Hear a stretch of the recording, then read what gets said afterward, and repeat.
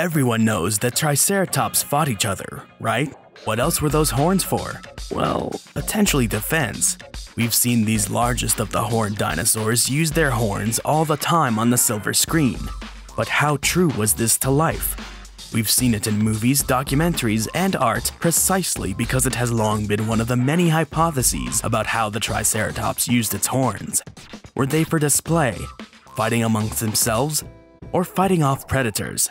Could it be all three and more? A new study takes a chunk out of the frill of one of the largest known Triceratops specimens to see if there was more to the frill than met the eye.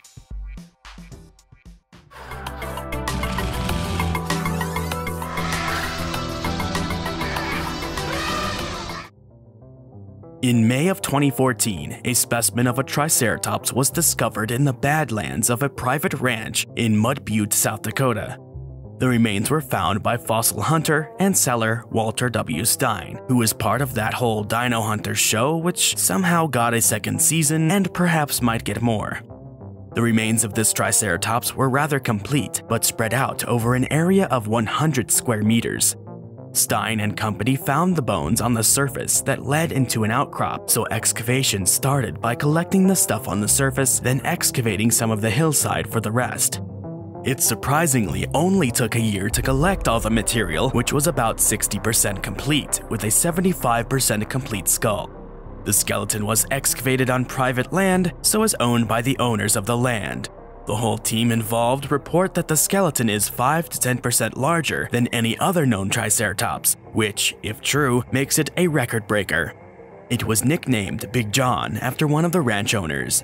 The bones were bought for 150,000 euros, then shipped to a fossil workshop in Trieste, Italy, where they were further prepared. Casts were made and missing bones were added in to create a full mount. This process began in January of 2021. The skull went on display in February, then the whole finished thing from July to August before being sold again at auction on October 21st, 2021 for a whopping 6.6 million euros, 7.7 million USD, making it the highest non-Tyrannosaurus specimen ever sold, and adding another skeleton to the pile of specimens that are ramping up the prices for dinosaur specimens. First it was Sue, then an Allosaurus in Paris, a sauropod, a stegosaur, then Stan, the dueling dinosaurs, and now a Triceratops. Walter Stein, the guy who found and helped recover the specimen, said, I would have felt better about it had it gone to a museum. Hopefully the new owner will put it on public display somewhere soon so others can love the specimen like we did. I won't make this video specifically also about the unethicality of selling dinosaur specimens, especially those that may be important like this one, but public display is only one aspect of a dinosaur specimen and kind of the least important one. Of course, the public has a right to see these specimens, admire them, and learn from them, but they are also extremely important to our greater understanding of the fossil record, and each specimen acts as a whole new data point to add to analyses on these animals. At some point, one of the owners of the specimen allowed a histological sample of Big John to be made, which is now housed at the University Museum of Chieti in Chieti, Italy. So that was cool of them, would have been cooler to donate it to a museum and get like a ton of social accolades, uh, but whatever, keep it in your house so only you can enjoy it. That's totally cool too. A team of researchers, including Ruggero D'Anastasio, Jacopo Cilli, Flavio Bacchia, Federico Fanti, Giacomo Gobbo, and Luigi Capasso, took a look at the sample and published their findings, Histology is the study of microscopic tissues of living or once living things.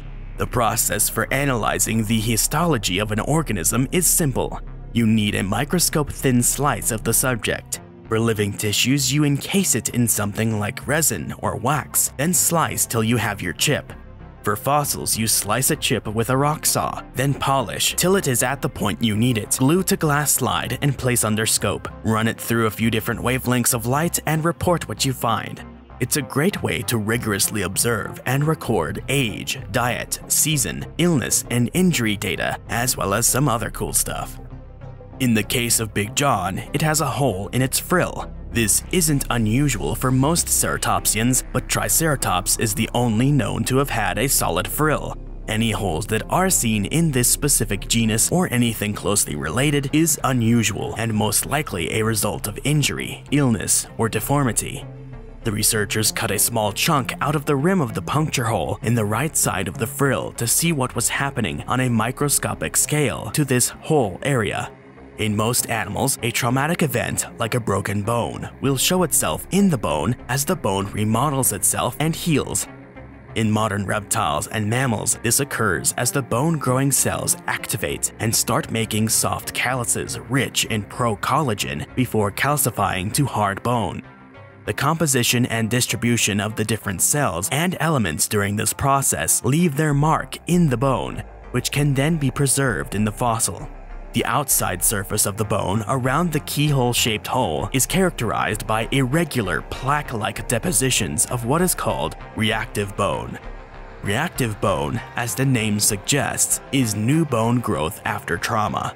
It's a special kind of bone that is more active in its formation and reaction than other types of bone, this bone texture on Big John could be the result of periostitis, which is a type of inflammatory process triggered by any one or many different types of stimuli. Part of the weird, chunky, uneven texture around the hole is definitely from erosion and the fossilization process, but as we'll see with the histological analysis, some of it is definitely due to injury.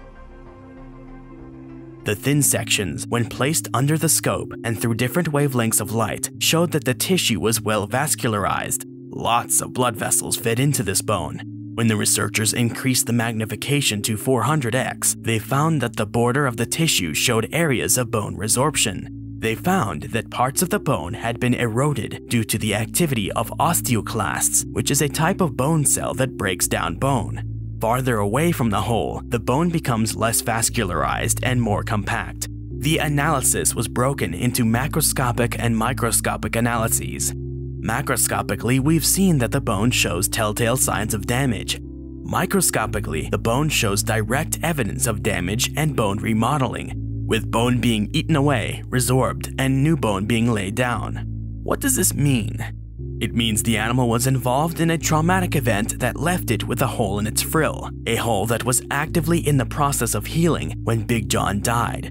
This excludes the possibility that the hole was made after death since the bone was still being remodeled. Another possibility this rules out is that the hole was a mutation from birth. How did it happen?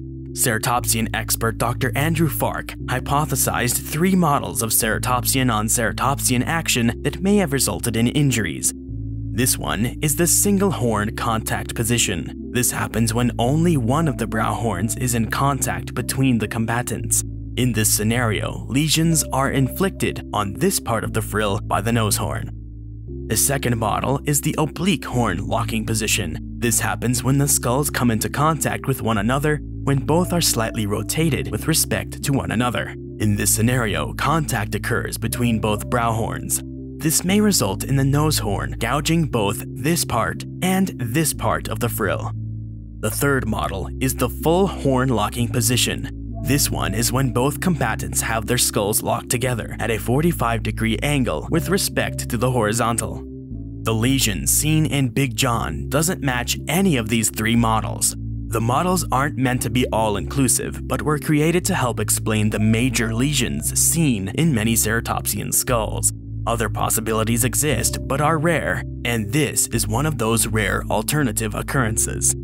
The research team on Big John's mysterious hole suggested that it was gouged from behind, that another Triceratops punctured a hole into John's frill and then slipped towards John's beak, making the keyhole-like shape.